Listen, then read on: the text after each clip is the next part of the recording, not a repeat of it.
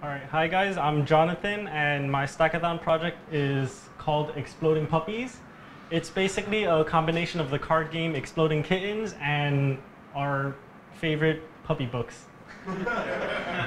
so um, uh, this game is for two to five players. I'm gonna show, I guess, just four players because I don't have enough screens. So um, when a person first comes onto this page, oh, by the way, if you guys wanna follow along or play, you can just go to explodingpuppies.herokuapp.com slash lobby. The slash lobby matters, if I remember correctly. so when a, when a user first comes in, they just get randomly assigned a guest name. Um, so for example, if I refresh this second one, it'll say it left and it rejoined. Um, you can change the user's name, so I'm gonna call this one Omri. Uh, I'll this I'll call this one myself, I guess.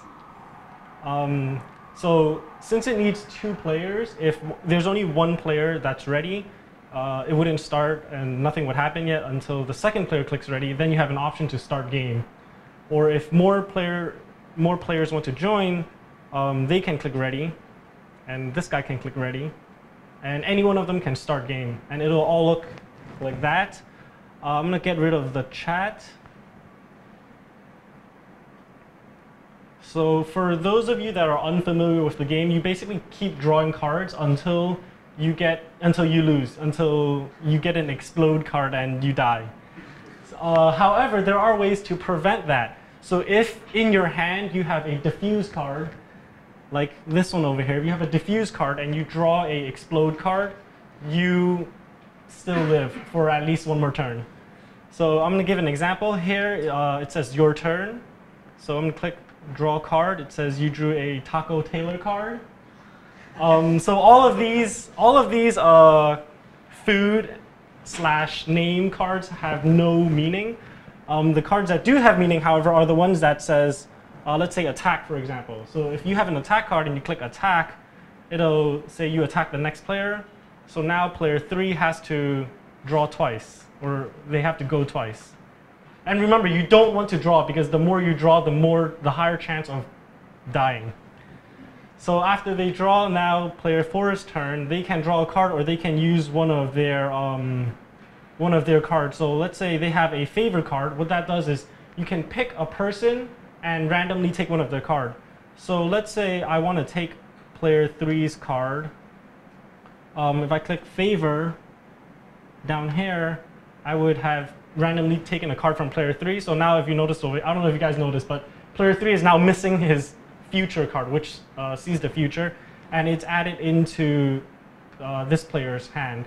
So now he can draw a card, and his turn is over. It goes back to player one's turn, and this process just keeps repeating until someone dies. Like uh, I guess I can show you what happens. Just keep drawing cards and not thinking about it. Uh, so here, this uh, this last player drew a defuse, I mean drew a, an explosion card, but because he had a defuse card, um, it says you defused an explosion. And that explosion card is put back into the deck. So in a random position. Um, but now this player has no more defuse, so if he draws an explosion again, he would lose. Uh, I'll just keep drawing cards, and eventually all of them except one player would, would be left. Uh, let's see if I can ever get to that. Uh, so on the bottom also says whose turn it is. If it's your turn, it'll just say your turn. Um, it'll probably look cleaner if you're playing with only one screen. It just looks really messy right now because I'm playing four players at once. Um, but yeah, so if you're the player, only you will be able to see your hand, and you'll see sort of how many cards the other players have, but you don't know what they have. Uh, I hope some. Okay, there we go. It died.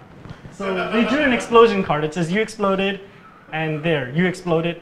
So now on all of the other players' screen, under the player, I guess their hand, it'll just have an X on it, meaning they died. And uh, the game will just continue on and it'll skip that player because he's already dead. Uh, and yeah, that's about it.